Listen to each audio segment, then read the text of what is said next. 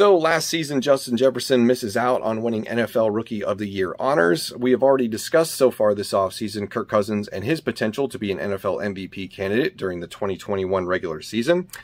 The most important piece of hardware that we're all after is, of course, the Lombardi Trophy, but today we will focus on another individual award, and that is going to be the AP Comeback Player of the Year award, and whether or not Danielle Hunter has the potential to walk away with this award at the end of the season.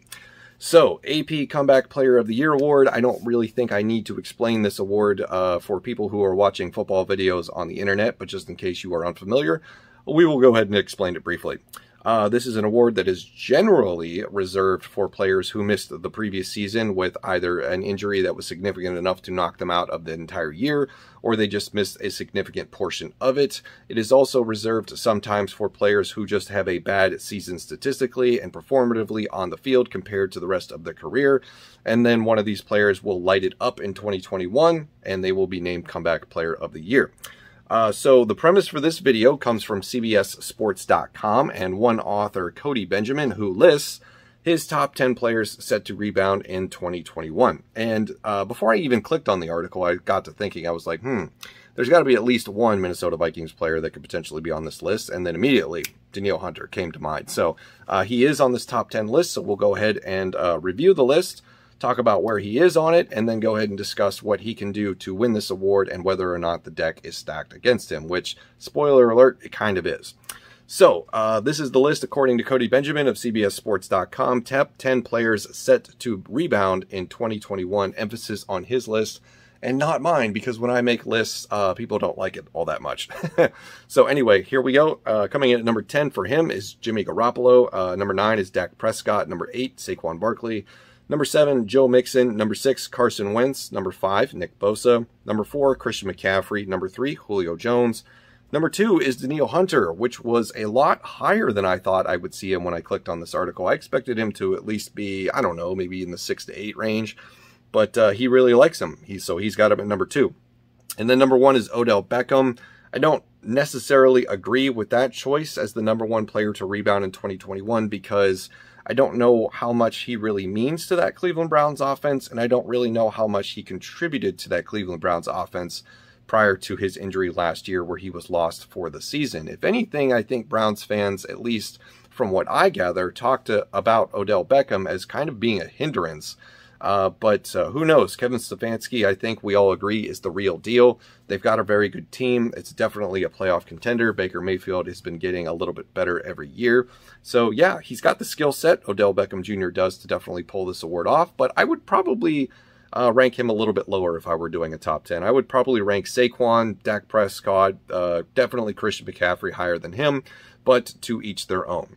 So, if you noticed anything about that top 10 list, other than Danielle Hunter being the number two player that he chose, you're going to notice that there's a lot of offensive player names on this list. There's only two defensive player names, and those are being Nick Bosa and Danielle Hunter of the Minnesota Vikings. And that's not by accident, because while this isn't exclusively an award for offensive players, it tends to go to them more often than not. As a matter of fact, to uh, even uh, look at the last defensive player to win the award, you got to go all the way back to 2015 with Eric Berry of the Kansas City Chiefs.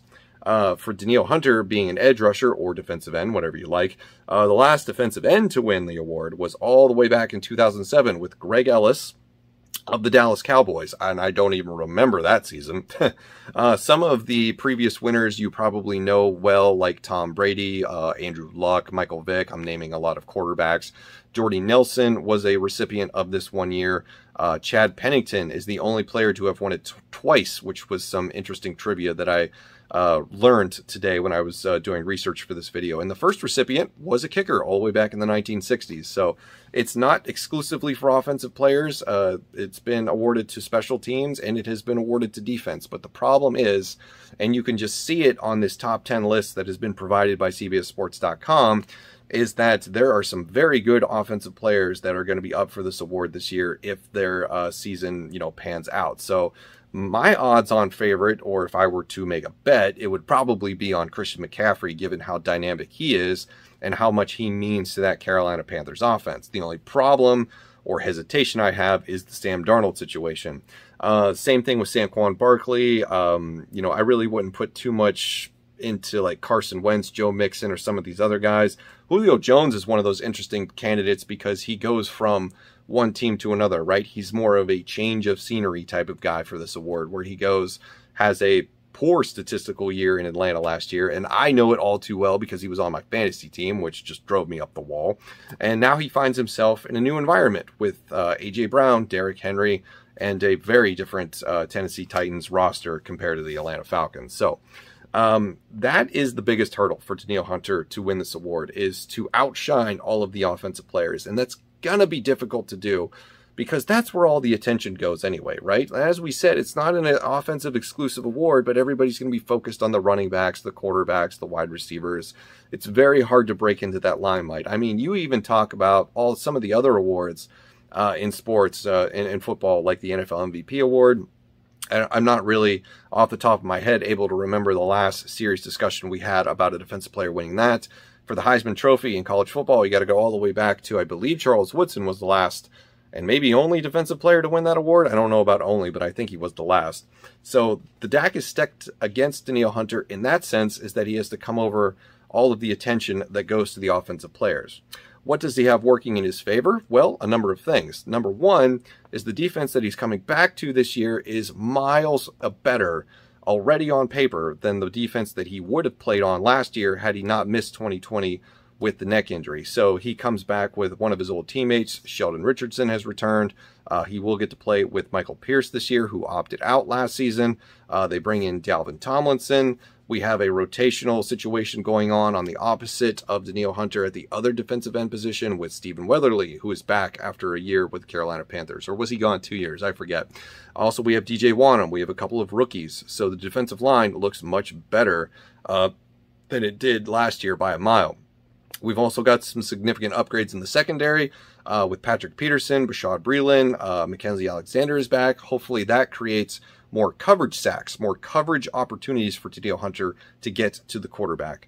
Um, what else does he got working in his favor? Well, he's only 26 years old and he's already an elite pass rusher. So if there's anybody who is an athletic freak enough to overcome something as serious as a neck injury, and it is serious. Remember, we've been talking about Danielle Hunter, the neck injury for months, uh, ever since the beginning of last season. Uh, when it all started out as a tiny little tweak, according to Mike Zimmer.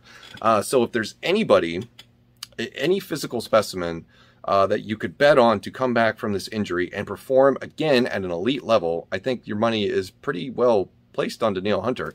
And this isn't something that we haven't seen before, right, in Minnesota, because we've had Adrian Peterson go down with serious injuries that probably would have knocked most other uh, most other running backs into early retirement. But no, this dude comes back from his injuries and he's like, I'm going to chase uh, a friggin' MVP award. So um, we're used to this, uh, and this something this could be something that we see repeat. So that is what Danielle Hunter has going for him: a revamped uh, defense, the fact that he is an athletic machine, and he is an elite pass rusher. The sack total is what could jettison him uh, to win AP Comeback Player of the Year award when all is said and done. If he can go back, uh, you know, regather all of the, um, the the great performances that he had in seasons prior. I believe what back to back seasons with 14 and a half sacks. I don't have the statistics in front of me, but I just know it was something uh, in that ballpark. So um, what would it take? I don't know. Maybe an 18 sack season. Maybe he gets a 20 sack, uh, 20 sack season that seals the deal.